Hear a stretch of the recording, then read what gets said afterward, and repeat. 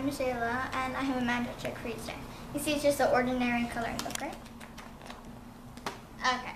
Um, so what I'm going to do is I'm going to color in the pictures, but what you guys need to do is wave your hand over the screen and say abracadabra.